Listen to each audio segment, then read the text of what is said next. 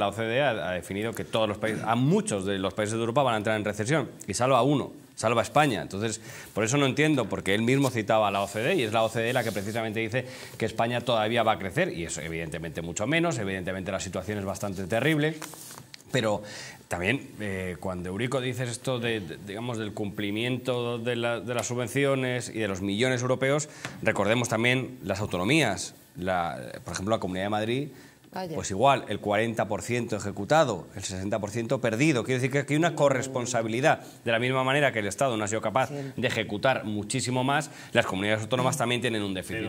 Pero, estamos... no, no, no. Cada vez que la izquierda gestiona mal la ninguna, ninguna alusión. Es el reparto pero, los datos son datos, no son alusiones. que está, lo está manejando Moncloa directamente. No, no, no. si las autonomías, las que tiene el dinero pasar. Vamos a ver, es que como esto me lo sé, es que resulta que las comunidades autónomas no han podido elegir los proyectos que iban a recibir los fondos europeos. Les han venido impuestos desde el gobierno y a lo mejor resulta que son proyectos que no interesan para nada. Es que esa es la realidad. Lo que no vale es lo de siempre. Gestiona mal la izquierda, socializamos la culpa. No, es no, que esto la culpa no es, a ver, pero es que no podemos tener autonomía para unas cosas y no para todo. Pues es verdad que las comunidades tienen una corresponsabilidad. Yo lo que no, voy a hacer, yo lo que voy a hacer es el partidismo este de no, los míos lo hacen bien y los otros mal. Digo que, me parece mal cuando desde el gobierno no son capaces de gestionarlo y me parece mal cuando la parte que las, las comunidades autónomas le corresponde no lo hacen. Eh, porque a mí se está gestionando mal. ¿El qué? Eso, las ayudas europeas, por supuesto, se están gestionando mal, pero tenía que llegar mucho más. Pero yo lo que no tengo es el filtro partidista de que tengo que defender a los míos. yo lo que quiero es que los españoles les vaya lo mejor posible, más allá de las siglas a las que tengan. Entonces lo quiero que se gestione bien.